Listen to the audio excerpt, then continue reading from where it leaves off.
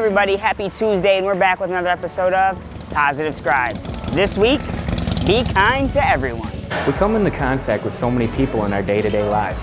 Some have a big impact, some are just a brief conversation, and some are just a smile and pass by.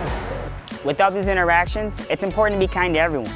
You never know what someone's going through and the impact you could have on it. And you never know who you could come back in contact with.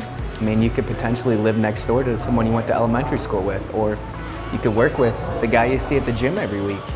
In business, networking is king. You never know who you're gonna need or who's gonna need your services. So being friendly and kind to everyone is only gonna help you and your business grow down the line. Something so simple as a kind word or a smile goes a long way. So be kind to everyone and make the world a nicer place. And as always, stay positive Stay focused.